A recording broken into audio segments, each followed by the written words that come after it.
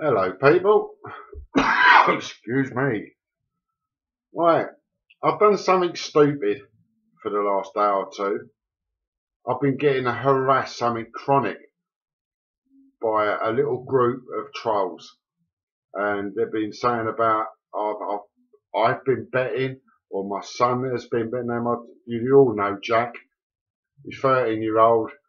He's autistic, and you know what he's all about. But anyway, they've been saying that we've been betting on some fucking fascist group. They ain't even in this country. No, I didn't even know it was Le Pen or some bollocks like that. I didn't even know it was. I had to ask someone I know because you know I don't keep up with politics and all that sort of bollocks. But they've been saying I've been betting on him or on her or whatever the fuck. You know what I mean? Anyone who knows me, I'm not fascist. I'm not fucking into none of that bollocks whatsoever. So it just it just got to me a little bit, and I, I was stupid enough to fall into the trap of start answering back and all that cobblers.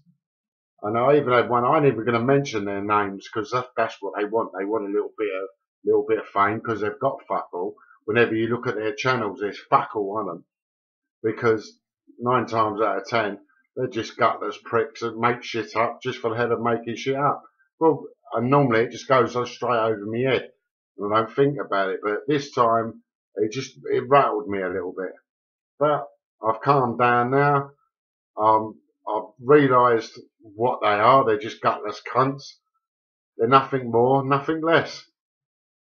But yeah, I just want I wanted to just get it out there today if anyone's got any problems with it or anyone's seen anything, if anyone can show me where this this betting made where it took place, or was it just some cunt saying it? You know what I mean? Because I know there's no way that I would go and fucking bet on a fucking a French politician to fucking do fuck all. It just wouldn't happen. But these what these pricks are. A lot of the cunts seem to be coming from fucking Sweden, that type of area we all know what, what's going on over there, so they're just too scared to come out of their houses, so they're, they're, they're playing the old troll game. But there's a few of them. But like I said, I, I normally I wouldn't listen to this type of bollocks, but it just it just rattled me. But hey, oh, this is what you have to put up with when you do the sort of stuff that I do with the bailiffs and all the rest of it.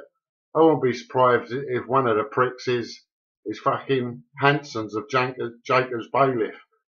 Because he seems, seems to talk a little by it, like, like him, you know what I mean? He's got a fake, ugly fucking face that you just want to rip, it, rip his face off.